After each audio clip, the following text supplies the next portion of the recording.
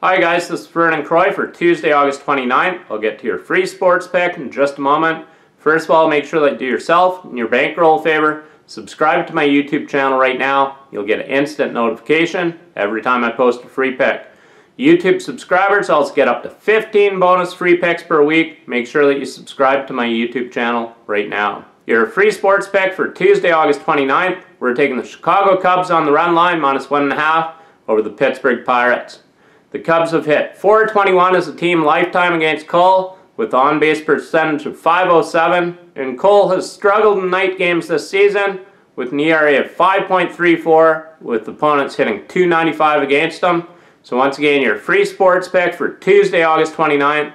We're taking the Chicago Cubs on the run line minus one and a half over the Pittsburgh Pirates. And make sure that you get my top plays right now exclusively at DocSports.com. We have the best guarantee in the business. You win or you get picks for free until we show you a profit. Get my picks right now exclusively at DocSports.com. And make sure that you give this video a thumbs up. I do appreciate it. Thank you. In winning, Vernon Croy.